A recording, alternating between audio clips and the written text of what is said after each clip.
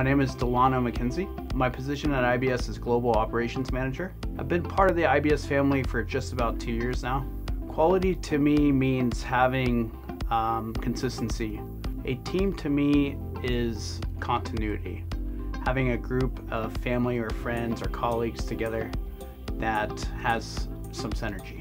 Integrity to me means faithfully executing um, whatever job or task you have at hand. My favorite movie, I would probably have to say Shawshank Redemption. My favorite genre of music is probably old school rock. My favorite hero is Hulk Hogan. My favorite hobby is building electronics, whether it's workstations or um, any gadgets.